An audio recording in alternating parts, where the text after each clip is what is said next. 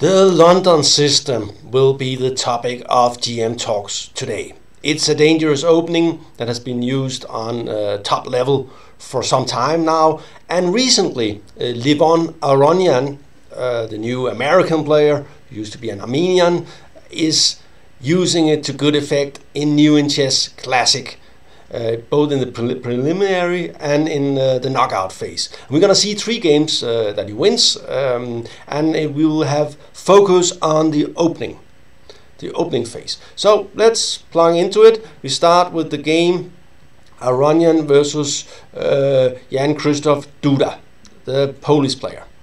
D4, D5, and this is the London system, getting the bishop to F4.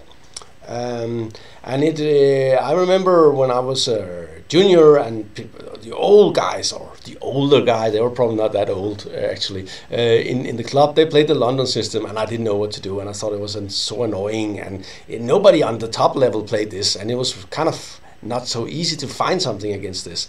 Anyway, uh, now they, the top level players have found it, and uh, I've also used this opening to and had both successes and uh, and failures with it. Uh, the, the key thing to remember is black's uh, white's position is extremely solid. It's uh, kind of active. There are many tricks and traps uh, in in the London system, and basically white is playing a reversed uh, super Slav. So if he just remembers not to be too ambitious in some aspect, he will in general be good. Um, c5, uh, normal move, kind of what black wants White didn't take the center with c4, so it's black and uh, and knight bd2, and this is um, uh, the the the main line uh, nowadays. The idea is is is to if, if white goes in this position goes c3, I'm just going to show it. Then this move is a problem uh, because after, after something like this, uh, white black will get a lot of uh, you can't exchange the queens, but that's also better for black. And here, this move, because of, of, this pawn is hanging and the rook will go lost, you have to go here. And and this position is equal, I think. Uh, I've I played it with white and played it with black, and I think actually it's a little bit easier to play white. Uh, he has a, some simple plans, but but I think black is fine here. So, and I think the top level guys think that too. So he's instead white plays knight bd2 because the c pawn might go to c4, and we'll see what happens after queen b6 in a later game in this video. So stay tuned and don't go away.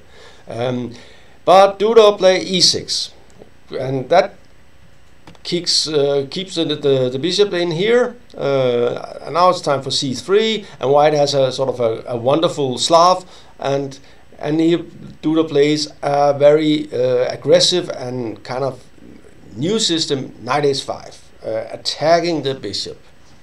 And after this, goes here, and the idea is um, is this square. Um, sort of after bishop d3, uh, knight would come in and it would be annoying. But of course, uh, the knight here is loose, and there are some options here. So white, and this is the aggressive way, and um, and here, the I think the main line is probably knight d3 and g3 and bishop g2 and uh, this is what I would have played with white uh, when I studied this but uh, there is another option for white a much more aggressive option g4 and uh, and I think uh, Aronian actually prepared pretty well for for London because um, he's um, and this forces the knight back to uh, a bad position. So it has to go here to avoid uh, a nasty uh, bishop b5 and bishop g5 and a lot of uh, aggressive things. And here white goes on the offensive with h4. And uh, of course, the idea is very simple to go h5. And white simply doesn't care about uh, the black win a pawn. He will try to attack uh, as soon as possible, as we will see. Because at the moment this knight here is is is bad. The bishop here is also kind of bad, and uh, And white is uh, slightly ahead in development and can easily get his pieces out, so he will try to, to do some damage before uh, black gets in order. Um, h5, bishop g5. And of course you would like to play f6, but then uh, knight takes d6 is a problem. Or queen c2 could also be a problem, I don't know. Um, queen b6, bishop f6. And this is of course uh, annoying and, and white is really going after this uh, knight. This is actually a very nice move because this also covers uh, this square here. Um, rook a7 and g5 and that's a bit surprising but he's just making sure the black squares is a problem and keeping uh, this guy on the ground okay so uh, Duda wants something for his effort and here comes uh, and he takes some pawns but he at the same time he activates white's rook here and we see that white has all the pieces uh, going in in this this position um, and he did sacrifice two pawns to get there. So, but I think White has definitely compensation here, and I don't like to. I wouldn't like to be, be black here. He played bishop d7 and take and take, and this is of course forced, and bishop take and take and take. And here he made a huge mistake. He has to go king e8, and the position is pretty unclear. Uh, the king is in trouble. Uh, the rooks are active. Black's rooks are passive, but he does have two pawns. So, and White's king is not so safe either. He played bishop c7, which is a big mistake because after this uh, he's more or less lost. He can't get out. King cannot get out after and queen c1. And look at the dark squares. White would like to put almost everything on dark squares. And uh, this runs into this, and the, re the rest is pretty uh, pretty nice. But you can say that uh, the opening was a complete success for Aronian that got a, a, great attacking position straight out of the opening. And I don't, I think White Black will have to uh, analyze a lot with strong engines to play this line again. King c8, and of course, well, all the rooks are out of play. Can we try and and kill him on the ground? Yes, boom. Getting ready to penetrate with queen d6. Queen c4, check, check, knight c5 coming. Take. And I just took. And uh, suddenly white is, is up huge material and there are, is no potential check. And look at that uh, rook here. Uh, this is the painting we call a rook with a view. Okay. Let's see the next game. We will not save this game. And I hope uh, the transformation went smoothly. It did. So, and it's actually so, because he plays against Wesley So in uh, the first knockout. And he was very successful with the London against Wesley. And it's kind of surprising because Wesley is very well, uh, he's very good at preparing. He prepares very well. So far, so good here and queen b6 like we said before and white's idea is to go d takes c5 and I think taking back cannot be that bad but it's it's also not really nice. White will get in c4 and rook c1 um, so black in general takes here. And in thereby he destroys white's pawn structure. White now has um, scattered pawns all over the place, but the queen we did went go out for a swim, and white does get a rook into play with tempo uh, immediately. And here goes the last piece out, and here I think white has very serious compensation. Uh, White has scored pretty well from this position. I think uh, maybe Black can defend. I'm not sure, but but in general, Black has not done so well uh, here, uh, and he, he, definitely need to study it very well. And I don't think uh, So was very well prepared because after this he was sort of surprised and uh, and and this is actually a, a theoretical move. Uh, the idea is if you take you have Bishop E5 and uh, and because the the knight here is pinned. So um, it comes anyway, and White is of course uh, quite happy here this is uh, this is why you play the London, right? So you're way ahead in development. has a huge initiative, and uh, at the moment, um, White is actually a pawn up.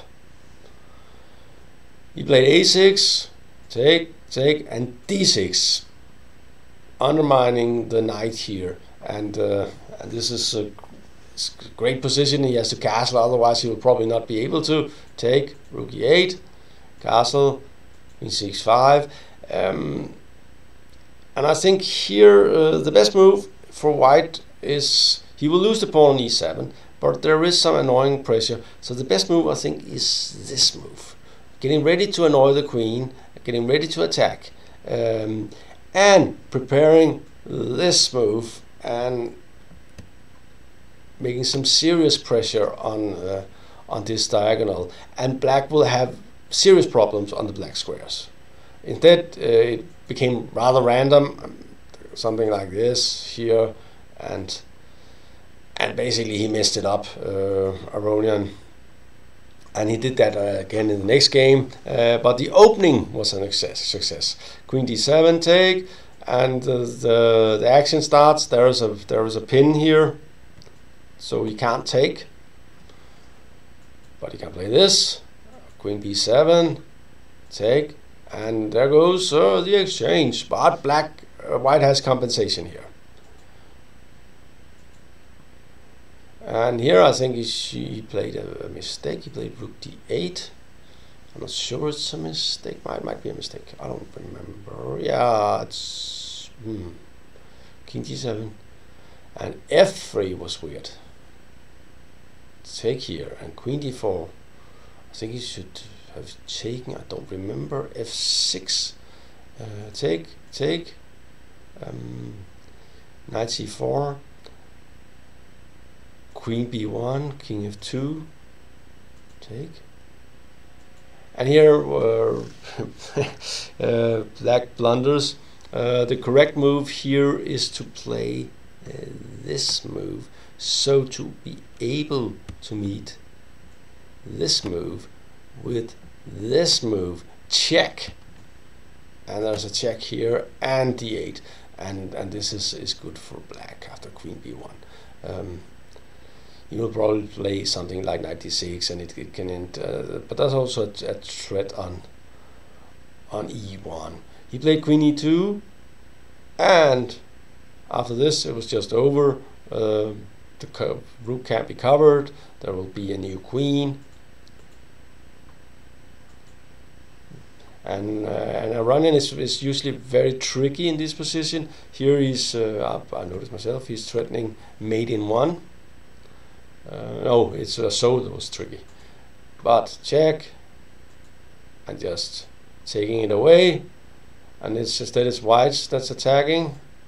Knight d6 attacking the rook, and threatening knight f7 and queen h4 mate. Queen c7, bishop b6. Notice that if he takes, then there's and queen here or here. So queen b8, bishop d4, and it will be mate. Uh, there is queen h4 threat. Um, that's very, very, very, very hard to cover, if not impossible. So black gave up. Uh, Aronian did win more games with the London. We'll have the next game as well. And this time,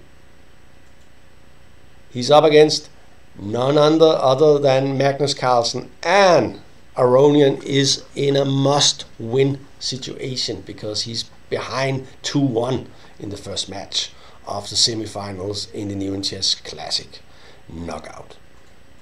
And we'll just take it rather fast.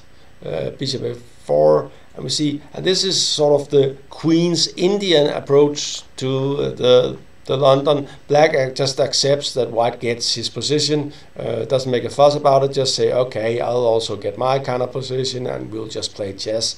Uh, the problem with this approach, um, which is kind of nice, uh, is, is that white is actually a little better. Um, this structure here, white is simply a little better. He, uh, he controls more space, uh, and, and Black's plan with the minority attack that we have seen in, in, in many uh, games in the Carlsbad structure is just not possible to, to get, uh, arrange. So White have more or less an, an advantage in, on the whole board with a little bit better chances on king side, a little bit better chances on the queen side, and the center is sort of, well, both have chances. And, and White only have good uh, pieces Anyway, um, of course you can play this, but um, and bishop d3 is a little bit weird. Um, and here knight c4 is is also um, kind of normal, and and I think a normal move here. Uh, white usually puts his knight on e3 and and d2, um, and then decides if he wants to put his queen on b3 or e2. Um, so I think a normal move here would be this, but um, instead he goes uh, here, and Carlsen plays b5, and and and if it's good, it's good, uh, but if it's bad, it's it's, it's, it's kind of uh, really bad uh, because. The, the thing is, of course, black would love to exchange uh, all the queen side and give white a, a weak pawn on, for instance, say c3, but it's not so easy. And and here uh, he did manage actually to, to get a weak pawn here. Um, and white's structure is intact uh, and, it, and has, he has good pieces, so white is slightly better here. Um, queen c2, of course moving. Um, here uh, Magnus simply blunders, uh, which was which uh, happens even to the best. He played this, uh, attacking here. the problem is he can't take it after uh, this move because if he takes we can show you um, then comes this move and he has to cover the, the bishop and here white can just go like something like this. And uh, and and black is running out of squares on the diagonal and the bishop will be lost. Okay. So we have to go, but the problem is after this move, the poor bishop here has no escape, and white will just take it and make black chronically weak on the white squares on the queen side. And, and this bishop will have no counterpart on black side. The, so here the computer is actually extremely excited about White's position and says that White has something like two pawns more. That's a lot. because he's not even a pawn up. But the problem is, of course, uh, the a pawn is extremely weak, and white will be able to make a, a pass pawn on on the queen side. C4, and um, yeah, we'll see. Black is uh, is Magnus Carlsen. He will will fight like uh, all he, he, with all he's got to try and get some counterplay, um, getting knight out, getting um, and even, but but uh, the, the the first part of this uh, Aronian plays really well. He just keeps the pawn here, saying, "Okay, uh, your your weakness will not go away. I have." Um, my two, oops, oh, Jesus. Um, I have my two, oh, they should be green, right? Uh, I have my two pawns here. They will be in a pass pawn on b5 that will be covered by my great bishop here. That, by the way, also prevents any kind of counterplay against, for instance, this square. So it's a great position, and I just go b5 and say, okay, I have here the bishop pair and a strong pass pawn and attacking chances on both sides of the board. White is actually winning. Uh, and he just exchange pieces. Uh, we'll see some. and and in the moment, uh, he, so far he's doing everything right.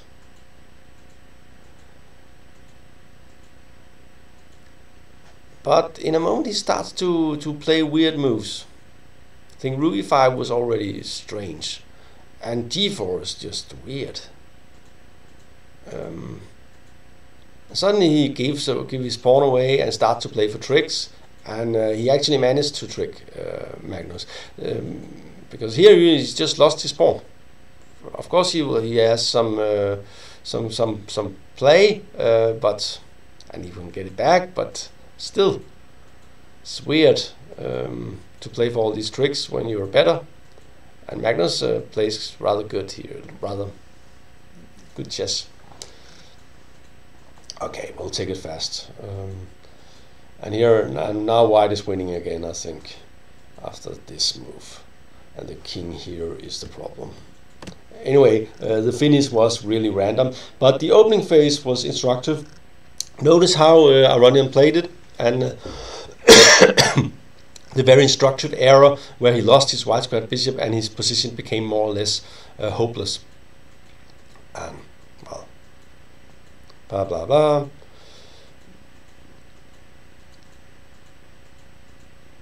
Yeah, and here he gave up. Uh, he's simply uh, just uh, come a whole uh, bishop down, and the king is in huge trouble. So not a great game by Aronian, but a great opening by Aronian. And um, I'm curious to see what the other players will do about Aronian's uh, new love, the London system. Thank you for watching. Uh, and if you have any questions about the London system, uh, don't hesitate to uh, to ask them uh, in the commentaries. Uh, I will. I'll get back to you, and we'll probably have a follow up if Aronian keeps it up with the fierce London system. Thank you for watching.